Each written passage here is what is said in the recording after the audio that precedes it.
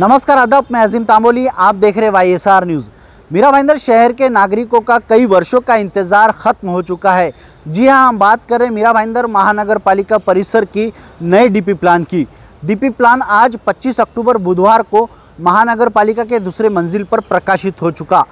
लगभग छः साल देरी से यह डीपी प्लान प्रकाशित हुआ है। आपको बता दूँ कि मीरा भाईंदर, शहर के विधायक प्रताप सरनाइक से हमने इस संदर्भ में बातचीत की तो उन्होंने बताया कि जिस किसी पर भी अन्याय होगा, हम उसकी गुहार मुख्यमंत्री एकनाथ शिंदे के पास लगाएँगे। इस संदर्भ में आज हमने विधायक प्रताप सरनाइक से बातचीत की। आइए जानते हैं उनकी क्या प्रतिक्रिया थी।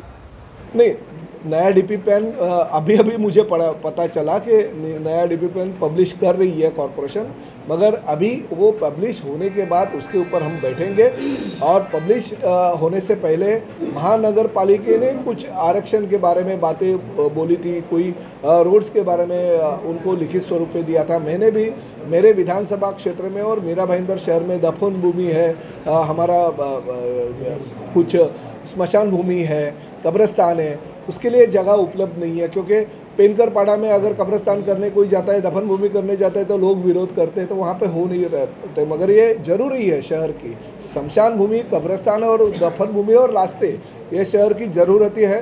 मैंने लिखित स्वरूप पे मेरे कॉन्स्टिट्यूंसी में दफन भूमि, कब्रस्तान और शमशान भूमि के लिए रिजर्वेशन भी बोला था और मैंने अभी भी फ़ोन करके भी किसी अफसर को पूछा कि भाई पहला बाकी का जाने दो, मगर ये डाले है कि नहीं? क्योंकि सबको एक दिन वहीं पे जाना है। तो उन्होंने मुझे बोला कि आपने जो रिजर्वेशन इन चीज़, तीन चीज़ों का बोला था, वो मैंने डाला है। और मुझे ऐसा लगता है कि उसके लिए मैंने निधि भी उपलब्ध कर, करके दी है। इसलिए मेरे लिए शमशान भूमि, कब्रस्तान और दफन भूमि, ये रिजर्वेशन हमने डाल के रखे हैं और ये मैंने रिक्वेस्ट की है और वो डाले रहेंगे क्योंकि मेरी हिसाब से ये मैंने पहले, पहला मेरा ये मांग थी और बाद में रास्ते और कुछ स्कूल के रिजर्वेशन कुछ गार्डन के, कुछ मैदान के रिजर्वेशन मैंने बोले थे। वो डाले कि नहीं ये अभी पब्लिश होने के बाद पता चलेगा और उसके बारे में मैं मेरी राय आपको दे नहीं देखिए डीपी में मैं यही कहना चाहता हूँ कि डीपी आज ही पब्लिश हो गया। किसी ने बहुत सारे लोगों ने ऑब्जेक्शन दिया था। अभी बहुत सारे लोग ये डीपी देखने के बाद में उसको पता चलेगा किधर रिजर्वेशन है किधर नहीं है किसके ऊपर अन्याय हुआ किसको न्याय मिला। ये देख लेने दो। अगर फिर भी किसी के ऊपर न्याय किसी को मिला नहीं रहेगा और उनकी जो मांग है वो अगर सही रहेगी क्योंकि कोई भी कुछ भी मांग करेगा ये भी नहीं चलेगा। अगर मांग सही रहेगी तो देखते हुए फिर भी डीपी राज्य शासन के मंजूरी के पास मुख्यमंत्री जी के पास जाएगा।